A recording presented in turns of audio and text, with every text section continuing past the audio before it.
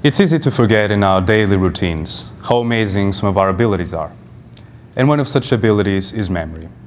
Being able to recall and re-experience what belongs to the past has long fascinated scholars through the years. And it's one of those, those most debated topics in the field of neuroscience.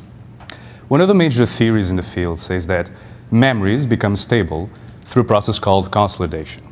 During consolidation, new memories, which are temporarily stored in a region called the hippocampus, as you can see there, both in the rat and in the human brain, are gradually transferred to other parts of the brain, which we call the cortex.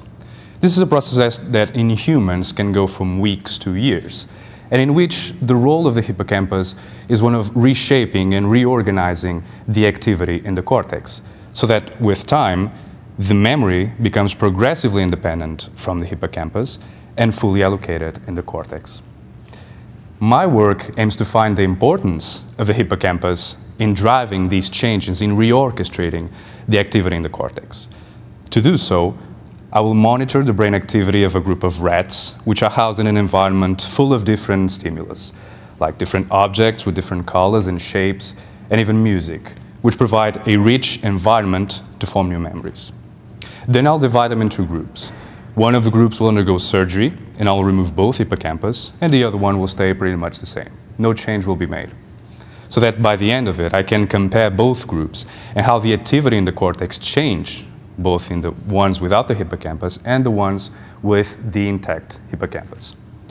What I expect to observe is that in the animals without the hippocampus, there will be almost no changes in the activity in the cortex. However, in the animals with the intact hippocampus, I expect to observe continuous changes through the whole process because there's a hippocampus present to drive those changes and thus memory is being consolidated.